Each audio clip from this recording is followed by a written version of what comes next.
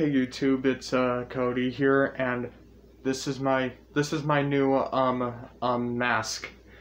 Uh, it's a it's a Rugrats mask. Uh, my mom made it for me. We we got the fabric um from uh from Joann Fabrics, and uh, I wanted to get this uh, uh fabric so I can have my little own uh custom uh mask.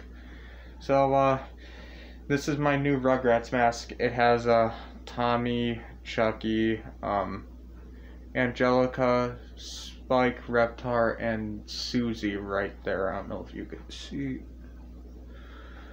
Just a couple of different ones. Yeah.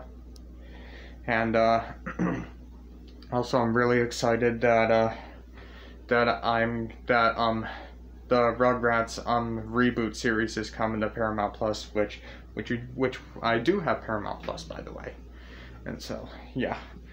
All right, um, that's gonna do it for uh, this video, and I will see you guys in the next video. Bye.